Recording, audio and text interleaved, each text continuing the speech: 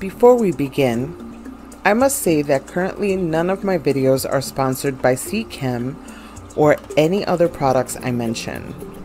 They are mentioned because they are good products and many frog keepers and aquarium hobbyists use them.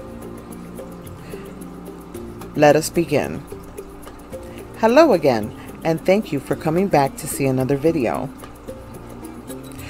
We have discussed a lot about African clawed frog ownership. Let's cover some of the details that were not discussed in the previous two videos now that you have your tank set up. After buying and setting up your tank, for the first time, let it run for about two to four weeks. Most recommend running the tank a full month to prevent the cloudiness known as new tank syndrome.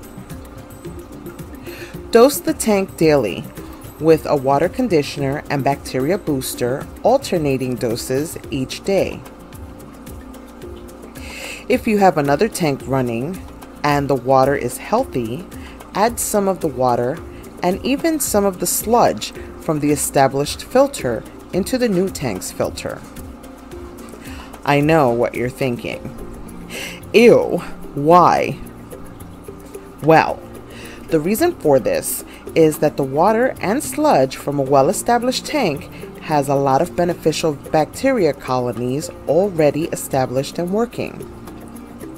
This can only be done after the water has been treated with water conditioner as the chloramines may kill the bacteria, so wait at least 24 hours after your first dosage of water conditioner. This gives the conditioner some time to run through your entire system several times. When you are ready to add frogs, add them gradually. If you are housing multiple frogs, make sure that the tank you're running allows for 10 gallons of water per frog. The reason why you should add your inhabitants gradually is because of what is called new tank syndrome. What is new tank syndrome? Well, Glad you asked. When you add new inhabitants to your tank, as time passes, ammonia may also rise because of uneaten food left in the tank. Dead food particles of partially eaten live foods and dying plant matter if your tank has live plants. When this happens, you may not have enough bacteria in your tank to combat the spike. Therefore, it is important to frequently test your water and dose it with water conditioner to neutralize the ammonia while the cycle is working through. It is not recommended to change any of the water while your tank is cycling. Ammonia, as well as its byproduct nitrite, is harmful to your frogs. Nitrite comes from the waste the Nitrosomonas bacteria produces. The nitrite gets processed through the Nitrobacter bacteria and becomes nitrate. You will know the cycle is complete after you see there is no ammonia or nitrite and your nitrates may spike a little as the final byproduct.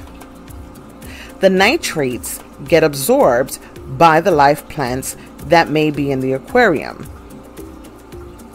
After the cycle is over, when your nitrates are high, this means that a water change should occur. Depending on how high nitrates are, this can mean the difference between a 25% water change or 35% water change if there is a normal nitrate high. Although small amounts of nitrate are not very harmful to your frogs, you want to keep them below 60 parts per million.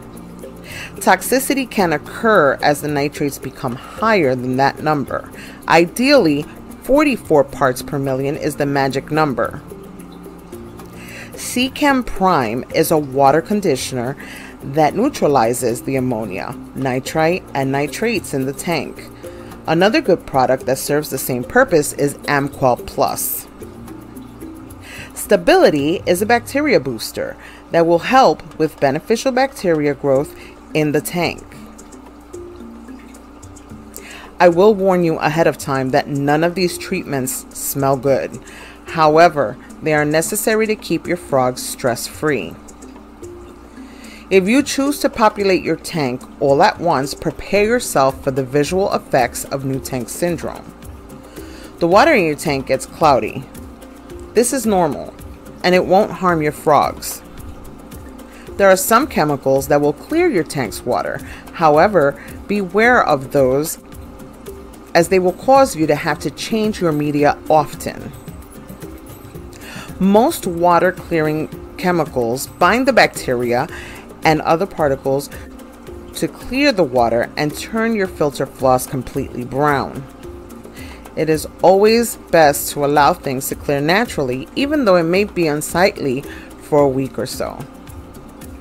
If nitrates are above 40 parts per million, this is when a water change shall be performed to reduce the nitrates. If you get an ammonia spike, this can mean that there is a large amount of waste somewhere that is decomposing. Use a gravel vacuum to remove the debris while changing some of your water. Treat your tank with the proper dosage of water conditioner if the ammonia is really high. Feel free to double dose if you are using Prime or any other water conditioner that does not run the risk of overdosing your tank. Keep your aquarium away from windows. It may look pretty, but not for long, as you may cause a green cloud of algae. This kind of cloudiness is cumbersome to clean, and direct sunlight is not good for your frogs. It's important to know and understand your nitrogen cycle.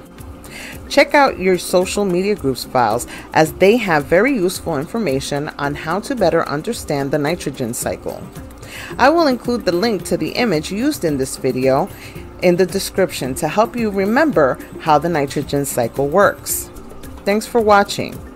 For more pictures and videos of our frogs, feel free to visit our Instagram. Have a frogtastic day.